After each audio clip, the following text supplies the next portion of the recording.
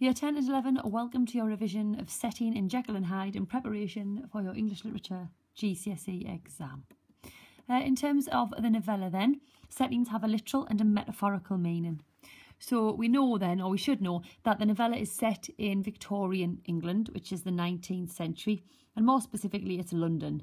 We have London, Soho, the streets which are poorly lit, uh, and then we have buildings such as Hyde's House and Jekyll's Laboratory.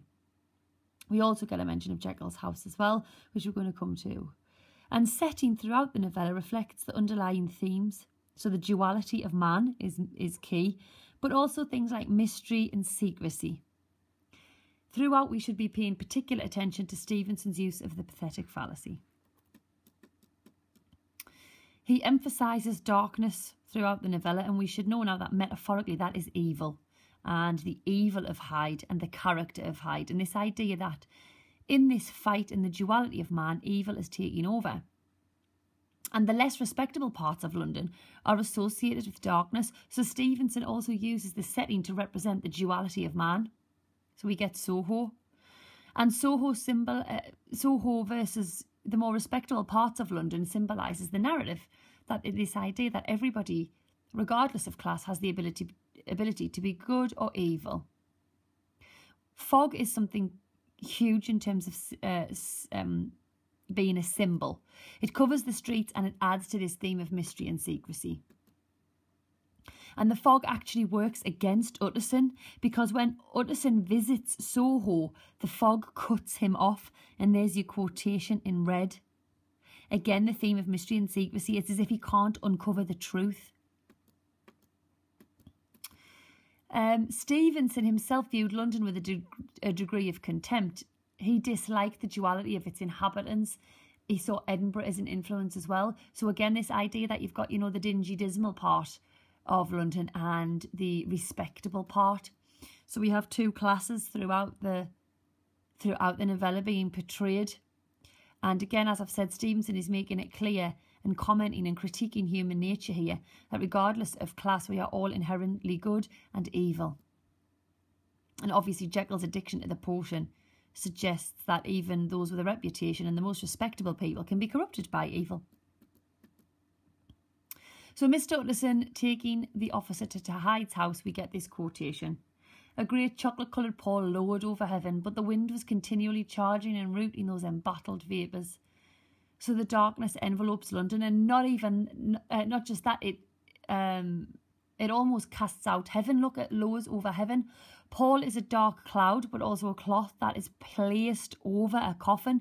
Um, and obviously we get the murder of Danvers Carew. So again, pall here is massively symbolic, not only of this dark cloud that is covering heaven. Look again at your symbolic meaning there, heaven versus hell. And don't forget, Hyde is described as being like Satan, and the devil had been long caged. So we have this other fight of good and evil in terms of this uh, symbolism of hell and heaven. Obviously, we have a, a sinister atmosphere here. Embattled is an interesting word because a quotation I'm going to show you later is the embattled city. Obviously, the city is in a battle with itself. And the mention of heaven suggests the divine, yet through Stevenson's word choice, there is a struggle, as, I've, as I mentioned. And again, we've got the pathetic fallacy. Look at the wind charging around. Um, again, can we link this to Hyde? The way he tramples over the girl at the beginning. In terms of pathetic fallacy, then, um, in, case obviously you forgot what it means, and there's your quick meaning. London appears to be twofold. It's commingled and good out of good and evil, and commingled is a single word quotation we can use. We get the black winter morning. Look at the adjective black. The morning is foul in its temperament, and it reflects the darker side of man. And obviously, this is the main concern of the novella.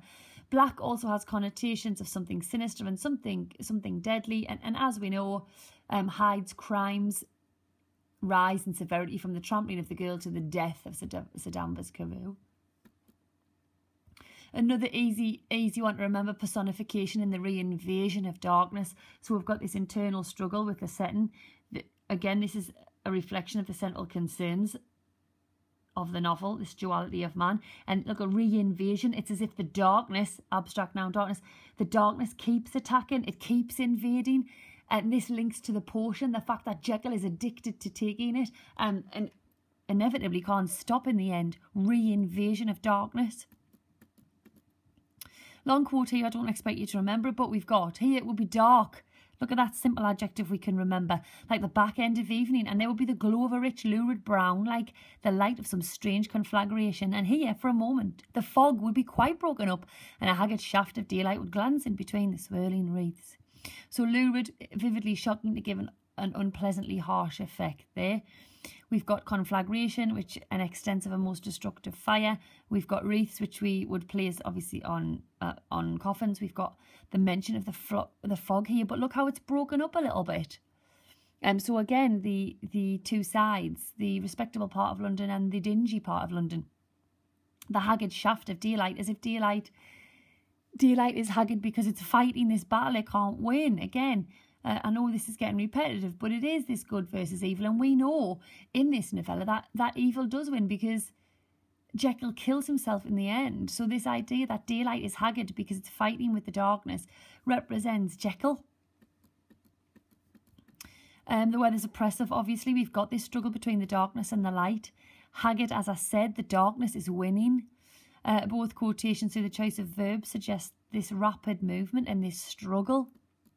Wreaths, as I said, is, is funeral imagery. So everything has this uh, dismal, sinister, ominous tone. The fog, as I've said there, it, it is a symbol, it's a motive, it's claustrophobic. It adds to the sense of unease, um, the mystery and the secrecy because the fog covers the city and we're, not, we're never quite sure um, who's committing the crimes or, sorry, or who Hyde is. When we get to Soho, it's described as dismal simple adjective there. We get, as I said, the re-invasion of darkness, simple use of personification.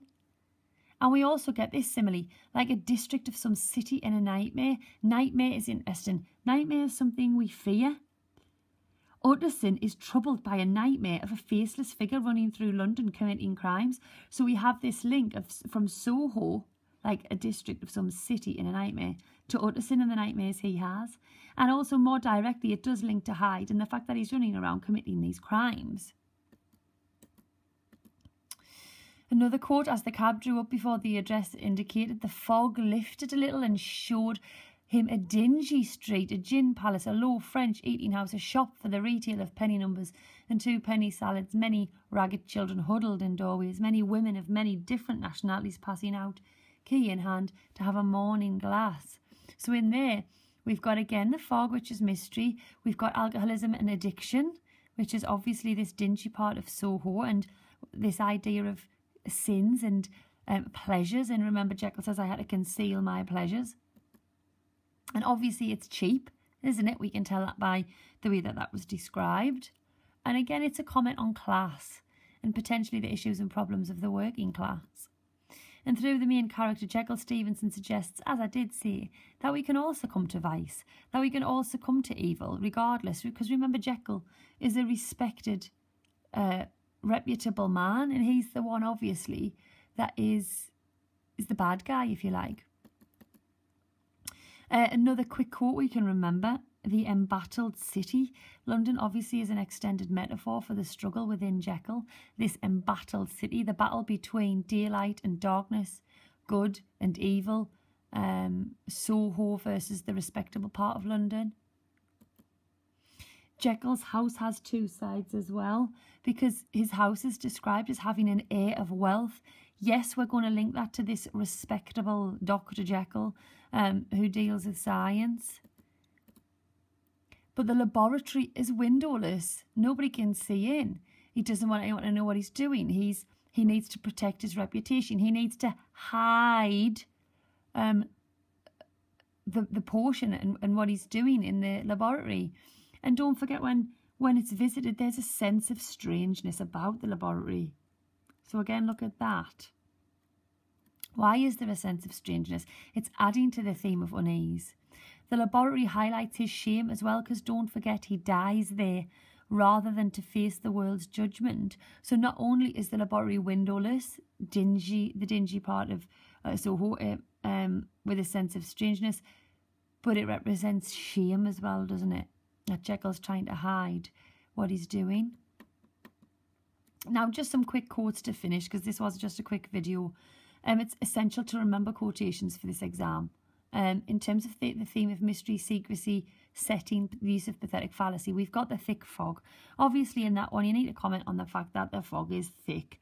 Um, and that links directly to Jekyll when he says that he wears a thick cloak of Edward Hyde. Metaphor, the fog rolled over the city. It's taking over the city. It's always there. Rolling over suggests that it is winning this battle between darkness and light, good and evil. The black winter morning, the adjective black. As I said, it's the morning is foul. The darker side of man is being identified here. The blackness also is a, a representation of the fact that Danvers Carew has died the reinvasion of darkness, the internal struggle within the setting, within the characters, within um, the entire theme of mankind, this good versus evil, heaven versus hell. The fact that darkness keeps reinvading, it always keeps coming back. You've got that link to Jekyll, keep keep taking the potion, keep committing sins, keep um, living out his desires and his pleasures. Jekyll's home is described at the beginning as a sinister block. Look at that adjective, sinister. We link it to evil. We link it, in some instances, to the devil. Don't forget, um, Hyde is described as like Satan. So again, we've got the setting being directly linked to our characters. When Utterson returns home after visiting Jekyll, he, it says read a me- uh, sorry, read a menace in the flickering of the firelight on the polished cabinets. Look at menace, as if when Utterson returns home after visiting Jekyll, he's deeply disturbed. It's almost as, as if uh, even the furniture is. The moon is described as lying on her back as though the wind had tilted her. Personification as if the world has turned upside down, as if the moon has given up, given up this fight. The darkness has won. Hyde describes the sky as having constellations that look down upon me. So it's as if um, the stars and the sky and heaven is frowning and ashamed of his actions. And don't forget, as I said earlier, Jekyll is ashamed of what he does. And the quotation I gave you earlier was a great chocolate coloured pall lowered over heaven, but the wind was continually charging and rooting these embattled vapours. So it's just a quick video on setting because it it is key in this novella.